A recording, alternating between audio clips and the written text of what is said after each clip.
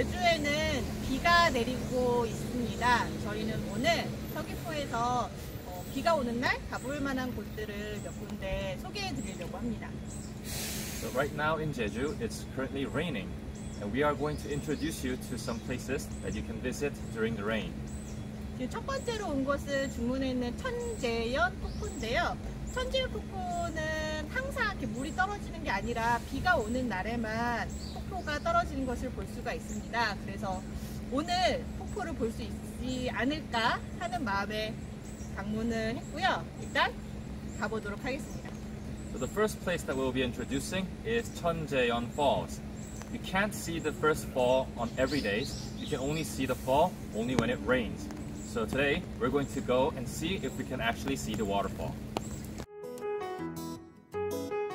삼폭포는 굉장히 멀리 있습니다. 시간이 많지 않으시다면 1폭포랑 2폭포만 보고 가도 좋을 것 같아요.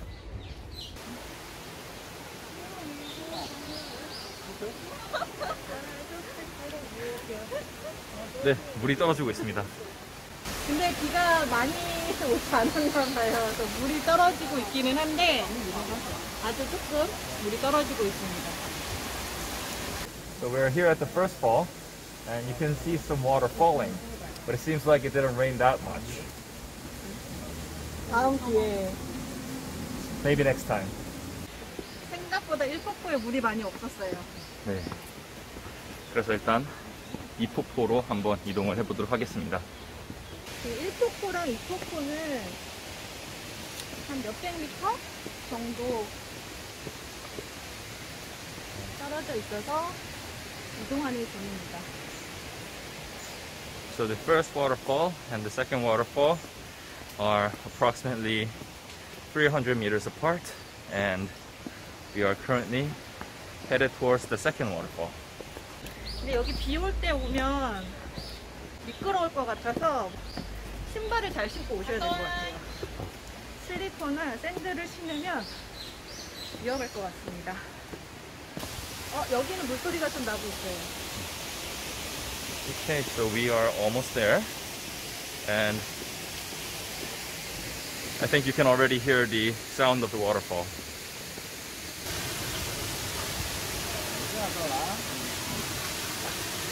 저희 지금 이코포까지 왔고요. 사실 여기 물이 많이 떨어지고 있으니까 좀 시원한 느낌이 있습니다. So we are here at the second waterfall, and the water will fall in the second waterfall even if it doesn't rain.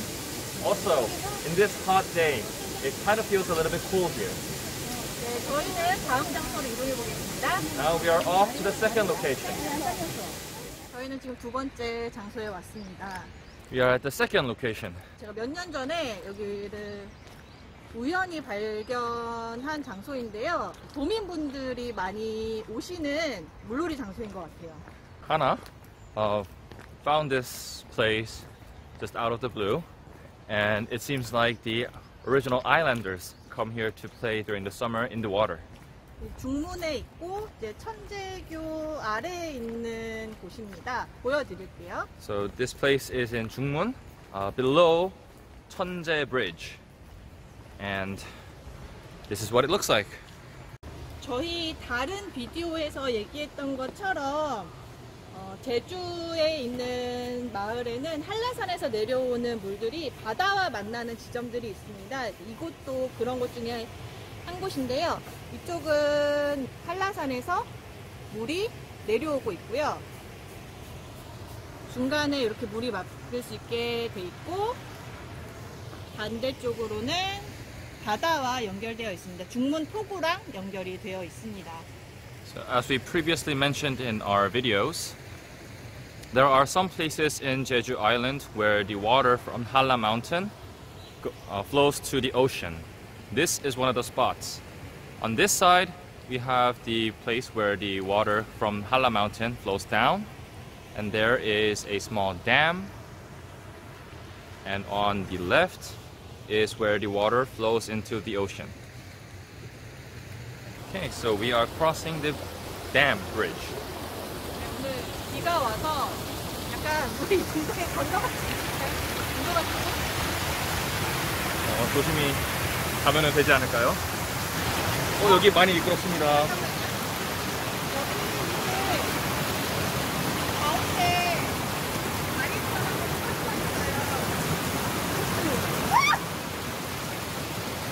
We're okay. 저희 괜찮습니다. 여기가 약간 자연 관리도 하고 있고 안전 요원도 와서 계세요. 그래서 이렇게 천연으로 만들어진 수영장에서 물놀이를 즐길 수가 있습니다. So here, because thanks to this little dam, uh, there is some water that is gathered up in this place.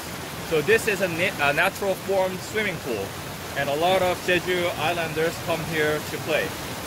어, 여기를 건너가면 반대편에 공원처럼 이렇게 구성이 되어 있습니다. And on the other side of the dam, there is a small park.